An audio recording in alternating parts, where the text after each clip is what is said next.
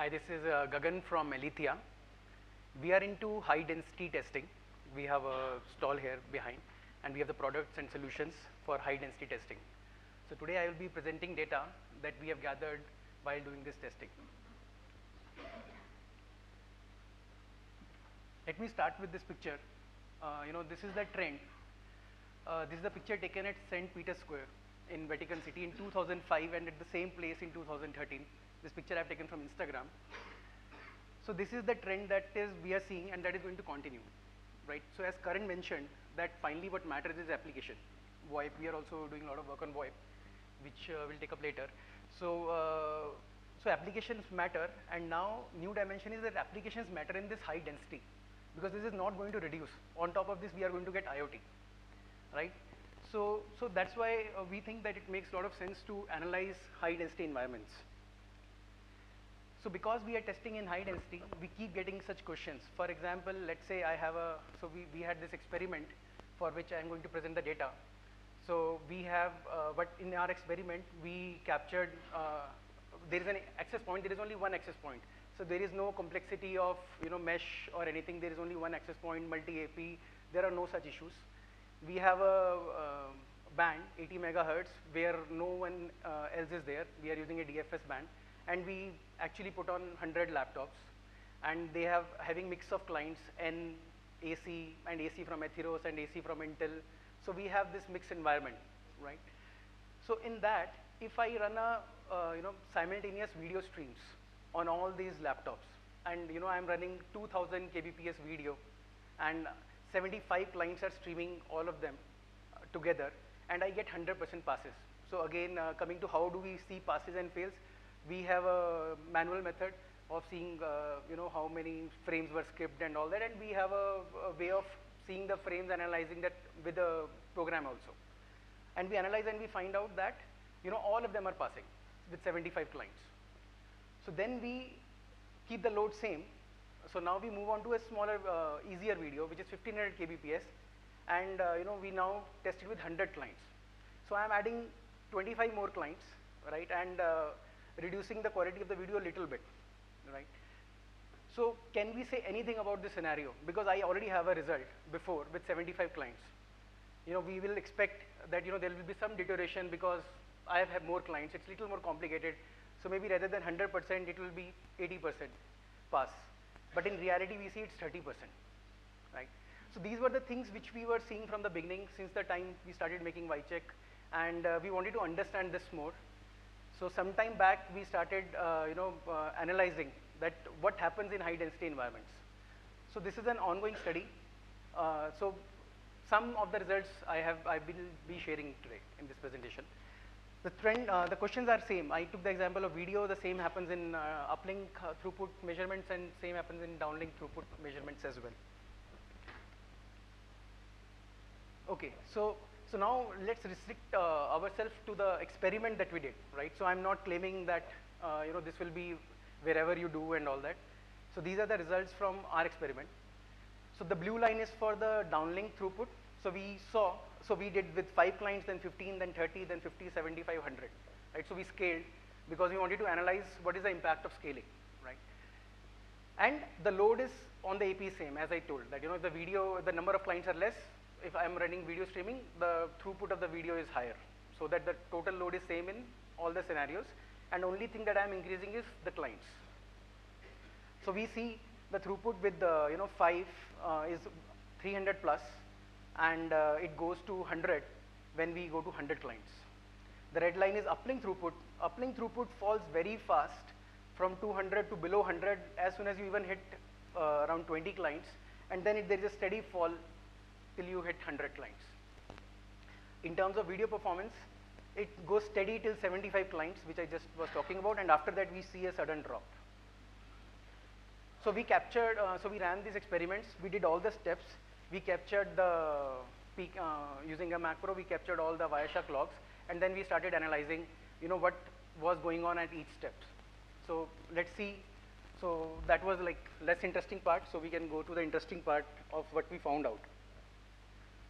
So we can go through one by one. In the uplink throughput, so in the uplink throughput, we, we uh, checked were there any management packets increasing? We checked control packets. We were checking packet size. Were the packet size increasing or decreasing? Something was happening to the packets, right? Or what uh, retries in the Wi-Fi, which uh, my uh, co-presenter told that in 802.11ax, uh, they will have a special method of handling retries. So we, were, we tracked retries. We tracked many other things, but these four were pretty much, you know, where some action was there. Uh, so in uplink throughput, we found out that there was no change in average packet size. Even though it fell down, there was no, not much happening uh, on the packet size. Packet size was similar in from 5 to uh, 100 clients. What was uh, changing was uh, retry, uh, Wi-Fi retries, which is on the blue uh, line. So that was, that increased from 15% to 60, retries that increased from 3% to 15% which was, let's say, is a factor but kind of expected. The other thing was the control packets. So the number of control packets increased. So this percentage is the control packet as a percentage of uh, number of data packets, right? So they uh, kept on increasing. So in this, we had more, uh, you know, RTS, CTS uh, were increasing, block ACKs were increasing. So all those were increasing, right? So there was a huge uh, amount of uh, packets coming on the control side. So we will park it basically uh, and then we'll let's just see the results first and you know what happened and then we can see you know why what possibly can be the cause. Then in the downlink throughput side.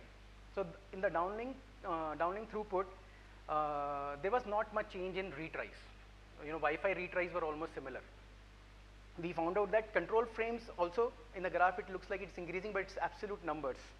So it's a secondary factor. They increase but I don't think uh, they mattered too much in the final uh, you know degradation.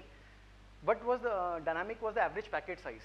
So that kept on reducing and you know finally it goes to some 150 bytes from 1800 bytes in the beginning as the, when the clients are increasing. So this was in the downlink throughput in the video performance also we found uh, which is kind of expected uh, because uh, you know video streaming is more downlink. So the behavior is also similar to downlink. Here also uh, we saw that packet sizes were decreasing and the control frames were increasing. There was not much of action in the Wi-Fi retry and management frames. So with all these three things we uh, one good news that we found was that you know a lot of this checking whether my AP is able to scale or not can actually be done with uh, TCP, DL and UL itself because the applications will fall mostly in those categories. So you really, not need to test each and every application for scaling, only for the scaling. User experience we have discussed in the other presentations, you have to test each application. So when we uh, dig further, so finally we concluded uh, among all the parameters that in uplink control, number of control frames is the major factor which leads to the, if you, if you have to point out one important factor and in the downlink it's the reduction in the packet size. So if you think more, uh, why in uplink, you know, packet size did not decrease is because, you know, uh, uplink means the clients are sending the packets. They are not coordinating with each other. They are sending what they want to send. And you can see the in huge increase in RTS and CTS because collisions are happening. Right? And some clients are aggressive. We have seen that, you know, one AC, one uh, card you put, another card you put, throughput is different, aggression is different. So that makes sense that you know control frames in uplink were increasing and they were affecting because there was no coordination. In the yeah, in the downlink there was coordination, but probably uh, you know uh, there was some kind of fairness that was kicking in, which uh, you know because access point is getting this data from all the clients and it has uh, uh, it has to send data to all these clients. So access point is somewhere aware and maybe that uh, awareness uh, leads to this you know reduction of packet size. So because we have not gone to the code, we are seeing it like a end user. So we cannot really say what uh, access point was doing. Right, and so these may be the uh, final reasons for, uh, and the reasons for the video streaming also fall into the same category. So we can see like uplink and downlink rather than per application for the current context. So how to handle these problems? So what we think, uh, because we have some background, I personally have uh, some background in doing schedulers for 802.22 and 802.16 technologies. And there, uh, we used to have schedulers which used to take care of obviously there are, you know, in the lower layers we have, you know, MU MIMO, beamforming, we can do a lot of stuff uh, which can, uh, you know, improve this high density environments, everyone is working towards it. But from the higher layer perspective also a lot of differences come uh, and they can, it can be managed. In, uh, in 802.11 AX, going forward when it becomes OFDMA, then a scheduler uh, with lot of features will be almost mandatory. But we feel, uh, you know, that now also schedulers can be made more intelligent to handle these scenarios. So we can even take care of it at higher layers. For example, in case of downlink, uh, uh, scheduler already knows that, you know, at what QoS, what packets are coming. So right, like just Karan told that you can analyze at the network level, you can analyze at the AP level also. Right, so then for within each QoS, there are various proven methods and which are different for each QoS you know, for ER, um, real-time traffic RTPS, ERTPS, uh, weighted fair queuing, or there are standard methods of scheduling which can be used uh, for each QoS to improve this uh, phenomena of high density. Then another thing that can be done that we found out that if you run this video even for a long time, it's not that you know access point or someone will learn. And uh, because the history now 100 clients are streaming from so long time, so with time you can understand that and improve it right? So that also doesn't happen. So that can be done, that you know, you can see the trend, a access point can see the trend from the last, you know, few minutes or few seconds and uh, take a call based on that rather than instantaneously every frame, right? And then obviously, like uh, Karan mentioned, uh, application-based optimization. So we can see that, you know, what is the real latency requirement of an application. Uh, now we have all the intelligence to figure out which packets are coming. Uh, you know, it was in the older days we don't didn't have that. Now we can figure out, you know, which application is going on and we know that, you know, this, if it is video, we have some kind of leeway, there is some buffering at the clients so we can actually gather data and send bigger chunks together. So all those things can be done. Coming to uplink, uplink, uh, we all, uh, you know, think that in 802.11 AX we will have full control over uplink or a lot more control over uplink, and in AC we don't have we don't have maybe at lower layers, but at the higher layers we can still do things. For example, one simple thing can be done like dropping ACKs. So if I know that it's a TCP traffic going on, if I know that these clients are being aggressive, I can control by just not hacking them properly. You know, they can be, be so we can do aggression management. In the counter word, which you know uh, Satish and all know very well, that uh, in the cellular side there are full features of device aggregation management. You know, where it's done uh, a, with a proper spec how to manage aggressive devices. So here also probably those things can be added and it can be, you know, differentiate, these can be differentiators.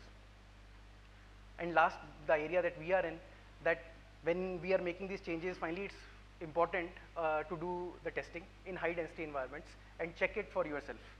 Because whenever our customers have come and they have checked, uh, you know, they have been surprised, uh, you know, that okay, we were thinking this much, this will happen, or this is why this is not happening, let's change these settings and slowly you come to know, okay, airtime fairness is probably not helping here, and um, I need a tweak in my airtime fairness. So these kind of things come out. So my presentation is quite short, so any questions, I'm ready to take.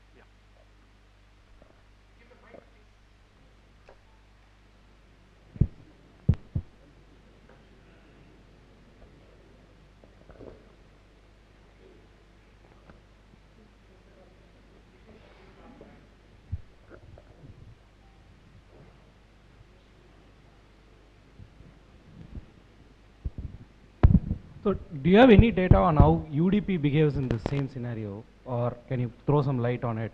I understand all your data here is with TCP, TCP even if it is uh, video or wireless. Right, right. do you have actually, uh, right. Uh, as I told you know, this we have started on this process of analyzing. Mm -hmm. We have to analyze. Uh, we are doing even VoIP also. Okay. So there are many things. Okay. Uh, so UDP we have not done yet. Okay. Second question is, say, a video or wireless in a high density uh, environment can be actually handled through multicast or broadcast rather than a unicast TCP. Correct. In those cases, the performance will actually, that, that is actually an higher layer protocol that can be implemented in video or wireless downlink right, actually. Right. Because the total throughput requirement is still less. As you said, it is like 22 Mbps to maximum 20 Mbps, whatever it is. But it can, if it can be done with multicast or broadcast, it, it is going to be far more efficient than uh, yeah. TCP unicast. I uh, completely agree.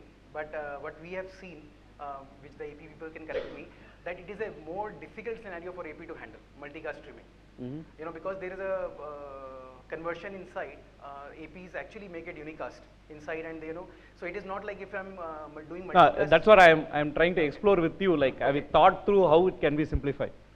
Yeah, yeah, multicast video or wireless on a high density environment, because Correct. mostly, most of them seeing the same thing. Probably in a stadium, they are seeing an action replay of what exactly, happened. That is exactly. clear uh, indication of uh, WoW in high density. Right. Ha- Have you explored something on that line which can make it simpler? Yeah, uh, so, so basically, yeah, we have not, uh, you know, come up with answers, but we know that for the fact that multicast is even worse than unicast when we are doing normal streaming. So in, in fact, it is even difficult to capture this data as of, as of now. It is even difficult to capture this data for multicast streaming because nothing will really work with 100, uh, at least what we have. We have not been able to run multicast with 100 and capture something. Okay. So we are at that stage right now. Yeah, thank you. Um, in your downlink measurements here, Sorry. in your downlink measurements, why was the average packet size decreasing? Average packet size? Decreasing. You said that that was one of the reasons. Yeah. Yeah. Why? sorry, Uh, yeah, average packet size was decreasing in downlink. Yeah. Why was it decreasing? What was the That's reason? what I'm saying. That our suspicion is that because access point knows that you know it has to be fair to these hundred clients, right, or 50 clients compared to four clients. And if there is some scheduler in access point, and if it is, for example, there is a feature in uh, every access point which is airtime fairness. What will it possibly do? Airtime fairness means it tries to, to be fair to all the clients. And for fair, it means that if has a, it has a data coming, like there will be a queue at the scheduler from each uh, client coming. So from all those queues, if it has data in present in all the queues, it will probably take a call of doing a round robin, take this much, some, some, some parts from each of those queues and send, right? So, so that may reduce the packet size because in uh, 80, it has to, it can only send one user at a time, right now. So if it is being fair, it has to send smaller chunks. Modulation also may have a role to play, you know, which modulation, but in our data, we found that, you know, modulation was not changing too much. It's not like, you know, when there were four clients, they were all on very high modulation and uh, when they were 100, they came to a low modulation. Just one additional comment. Uh, the access points are not known to fragment the packets. Uh, uh, when, when even when they do implement fairness, they may uh, minimize the transmission opportunities or something, but they may not fragment the packets. I'm kind of wondering why the packet size. So that part actually- actually we are not sure uh, that you know who who does the fragmentation. Okay. But the, as a result, we found out that there has been fragmentation and which has not been efficient. Thank you. Yeah, so one uh, observation uh, was that motivated by the analysis that you have done, we also kind of realized the same thing, is that that actually motivates us to have a good capacity management in the sense that, for example, if we have a downlink heavy application, TCP application, and if in the uplink it's only the TCP ACKs, sometimes because of the reasons that you just mentioned, the capacity of the Wi-Fi comes down uh, by a great deal, by just these ACKs. So if you have ability to combine, say for example, LTE in the uplink with say the Wi-Fi in the downlink, we have experienced uh, very good performance improvements in the Wi-Fi. Uh, unfortunately, I could not uh, capture that in the slides, but it is available as part of the slides. You can. Okay, okay. So that- that is uh, yeah. that is uh, definitely you know even uh, Shikant mentioned that you know you can do a lot with uh, just managing the ACKs itself, and which pro- possibly it is not difficult to you know drop them or manage them. Uh, Yeah. Correct. So that I agree. You know that uh, we can do uh, some more to manage the aggression of the clients by managing ACKs. Correct. Correct. When I say ACKs, I actually just to clarify, I mean ACKs. the TCP ACKs. TCP ACKs. I also TCP mean? TCP ACKs only, Okay. not the Wi-Fi ACKs, because it will be very difficult. See, I don't think that there are few chip manufacturers. We will not be going and changing their code to you Correct, know drop Wi-Fi Absolutely. ACKs. So when I said that uh, we will drop ACKs, that those were TCP ACKs Yeah. itself. Yeah. So one of the uh, like from my perspective, one of the highlight solutions is uh, uh, should also include this uh, common capacity management of uh, or this uh, multi-access management frameworks to solve to resolve some of these issues. Uh, in addition to the points that you mentioned, just wanted to. Okay. Uh, so this is, I guess, uh, you're testing with your WiCheck. So uh, point is, have you tested across vendors access point and seen any changes in behavior for the parameters what you meas- meas- measured here? Uh, yeah, Rishi, actually uh, these tests are uh, not with WiCheck. These are with actually real 100 clients. Okay. uh, the data that we have presented and uh, because we wanted to just keep it very simple uh, so that there is no confusion we do we have tested with various vendors but till and uh, there is a degradation in all the vendors but the level of degradation varies So any uh, features specific to this, if you tune, do you see changes? That's what I was. So, the, uh, so, uh, so right, so uh, basically that, we have the PCAPs for them, but we are yet to analyze that, you know, what are the, uh, are, do they also have the same reasons of degradation or there are different reasons? So that study is yet to be done. Oh, thank you. Thank you.